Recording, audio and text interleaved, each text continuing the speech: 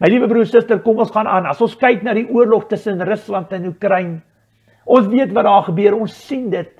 En die woord leer vir ons om onpartydig te wees.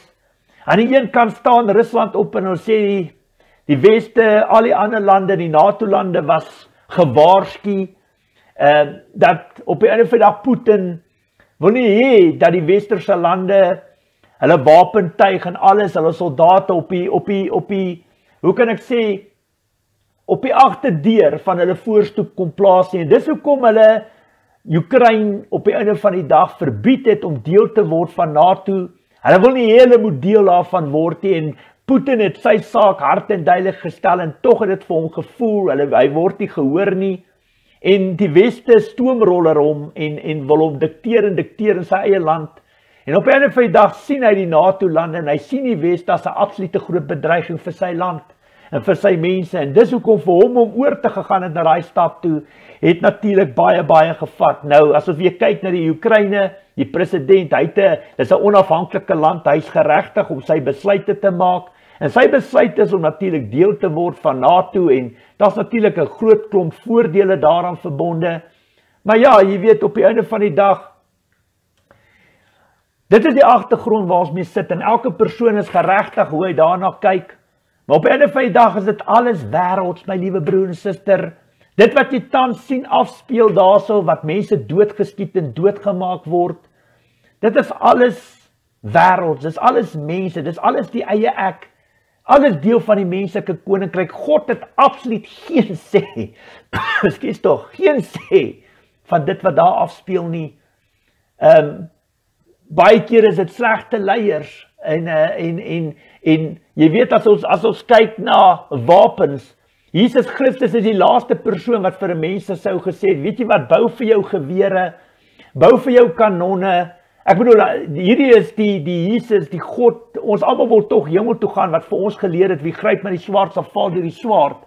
En dis hoekom dis alles die eie ek, dis alles Satan wat mense die idee gee om wapens en bomme en en en wapentuig te bou wat ander mense kan seermaak en doodmaak en dan praat ek nie eers van chemiese wapens wat hordes, duisende, miljoene mense op een slag kan vermoor nie.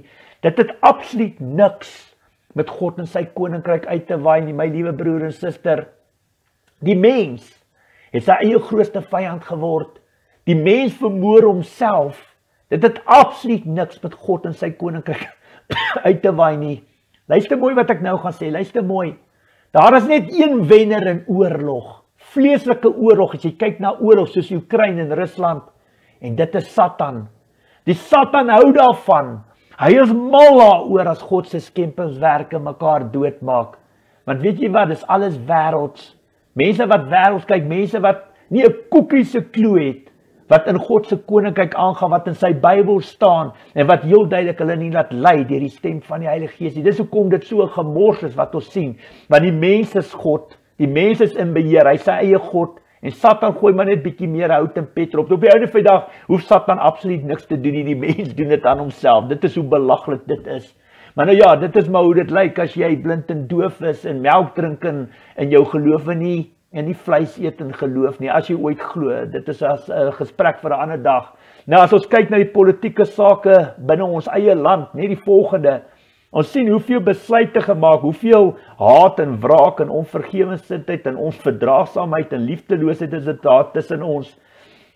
Hier word baie besluite in ons land gemaak onder wit, bruin en swart politieke leiers en ehm um, die president van ons land en dan natuurlik almal wat natuurlik mag het, uh, unies en al daai tipe goed, word daar baie besluite gemaak en as jy kyk na die besluite wat gemaak is, kan jy sien of dit van die eie ek afkom, van die eie mense koninkryk, of dit van Satan afkom en of dit natuurlik van God afkom. Want as dit van God afkom, moet jy dit wat uit daai man se mond uit wit, bruin of swart uitkom, moet jy met die Bybel kan staaf en bevestig. En ongelukkig uh, is die Here die een wat op die oomblik in die hangkas geberg is. Ons sien dit En uh, dit wat Satan doen, hy sit op die kantlyn en hy sit en kyk hoe roer wit, bruin en swart mense mekaar en hoe probeer die een harder God speel as die ander een en heel duidelik het hulle nie 'n koekie so klou wat in die Bybel staan en hulle kan ook nie God se stem hoor nie. En op 'n van die dag laai Satan ons almal op wit, bruin en swart vir 'n absolute groot val in hierdie land. En dis eintlik my hartseer. Jy weet, Angus Baggen sê 80% van hierdie land is Christene, maar nie almal is opreg nie. En dit is absoluut, absoluut die waarheid. Baie mense, Here, Here op 'n Sondag en dien God met die mond, maar nie met die hart nie.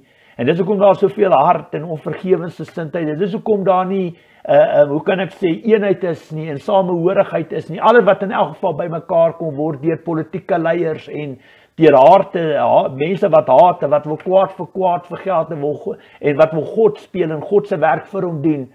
Ja, mense wat op die troonstoele staan en allerlei haat en wraak en onvergewensgesindheid en haat uit hulle monde uitspoeg.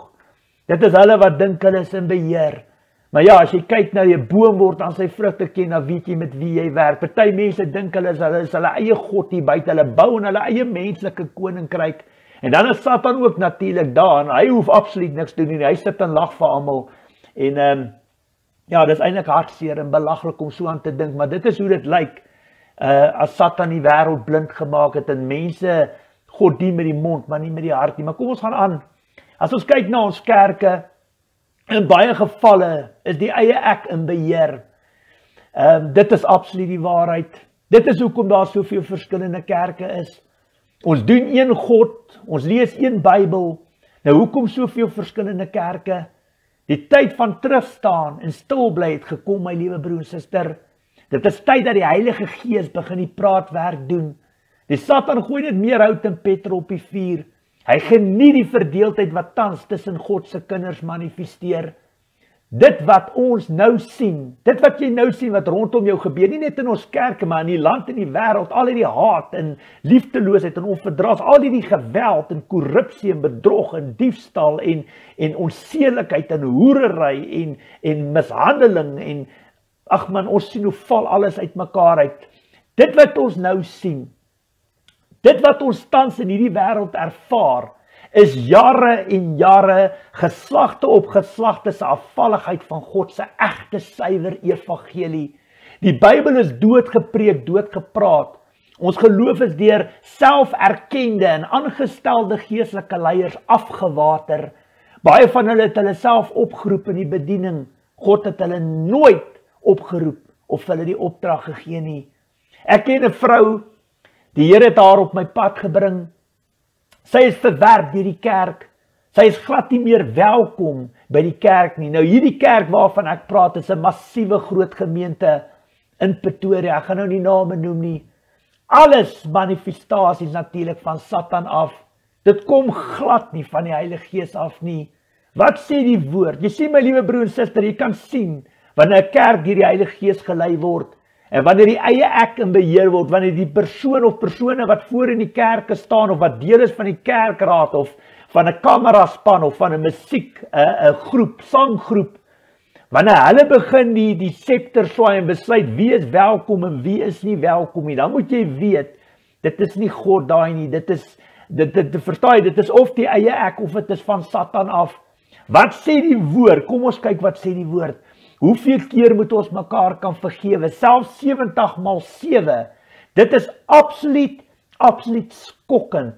Hartseer om te sien hoeveel mense Christene binne ons kerke seer kry hier buite. Jou besluite en keuses op jou persoonlike lewe.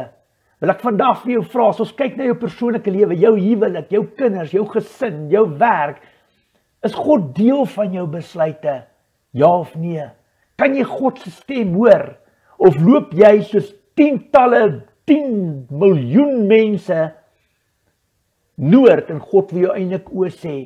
Vertaai, dis belangrik. Dis nie 'n kuns om te sê ek is 'n Christen, dis 'n kuns om te hoor met God 'n verhouding te kan hê. Ek sê altyd dis nie 'n kuns om in die naam van die Here te praat en op te dien nie. Dis 'n kuns om in jou kamer te sit, die opdrag van God te ontvang, dit te toets in jou gees en jou hart en geloof in jou voete te gaan sit en die opdrag te doen wat God vir jou gee en die res is dan geskiedenis. Dit is 'n kuns. Ek vra weer vandag vir jou. Is God deel van jou besluite? Kan jy God se stem hoor? Geniet die lewe, maar sorg dat die Here altyd op die troonstoel van jou hart sit gehoorsaam, gehoorsaam die Bybel.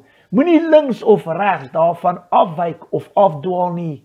God vereis onverdeelde trou aan hom. My liewe broer en suster, ons hoef nie God of Messias te speel nie.